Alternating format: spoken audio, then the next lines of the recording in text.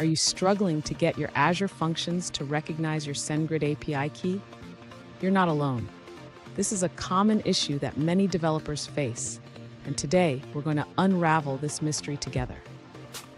I completely understand how frustrating it can be when documentation doesn't match the user interface. It can feel like you're trying to solve a puzzle with missing pieces. You're definitely not the only one feeling this way.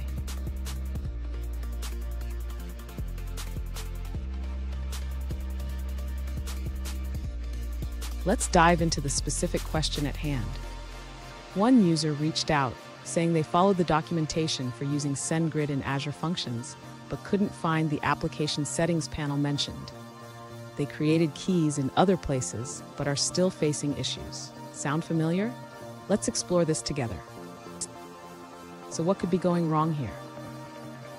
The error message, unable to resolve value for property SendGrid attribute.api key, usually indicates that the function cannot find the API key in the expected location.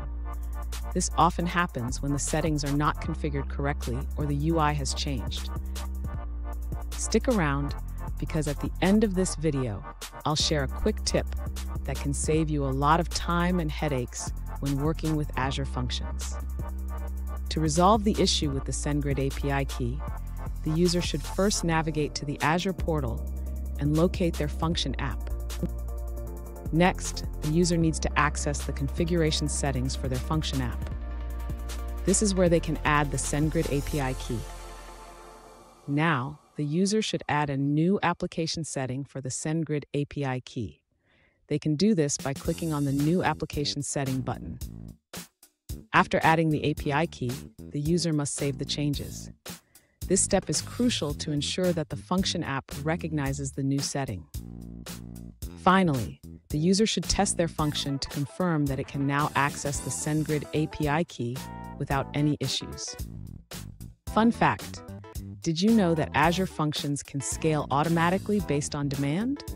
It's like having a personal assistant that works harder when you need it most.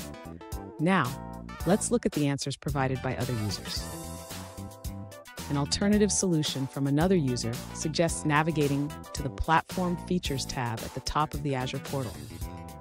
From there, you should click on Application Settings under General Settings.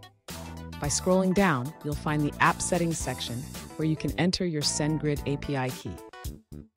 Here's that quick tip I promised. Always double check your key names and values. A small typo can lead to big headaches down the line. And there you have it. With these steps, your Azure functions should now be able to find your SendGrid API key. If you found this video helpful, please hit the subscribe button for more troubleshooting tips. And remember, a little attention to detail can save you a lot of time.